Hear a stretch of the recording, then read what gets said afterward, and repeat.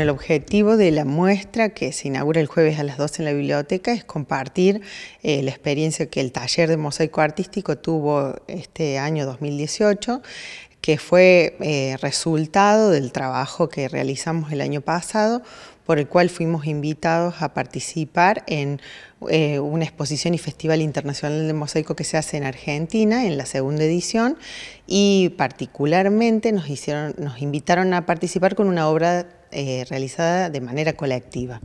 Compartimos el espacio con dos talleres de Brasil, uno de Chile y uno de Córdoba. Eran, y bueno, y un dúo de Italia y Argentina. Eh, el espacio, digamos, de trabajos colectivos. Eh, la sorpresa fue que la obra colectiva ganó el premio del público, más allá de que también obtuvimos premios individuales. fuimos una comitiva de 28 alumnas Em, de las cuales 20 habían presentado trabajo individual, que son los que vamos a compartir en la biblioteca, eh, junto con la obra de trabajo colectivo.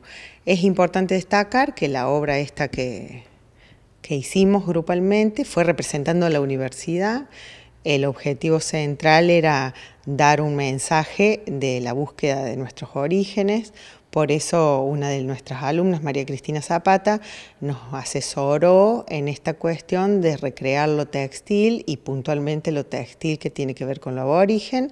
Así que bueno, nos metimos en esta aventura que la alumna ya lo viene, lo viene profundizando hace rato en sus trabajos y bueno, dio como conclusión esta, esta obra que se llama Desenterrando Voces.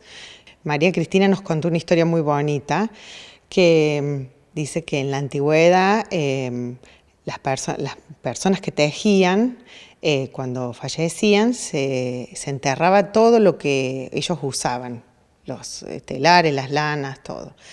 Y, estaba prohibido volver a nombrarlos. entonces, si ellos no habían en vida em, como contado sus maneras de, tejer, eh, desaparecía su obra y y bueno, y cuando ella nos contó esa historia dijimos, desenterremos esas voces.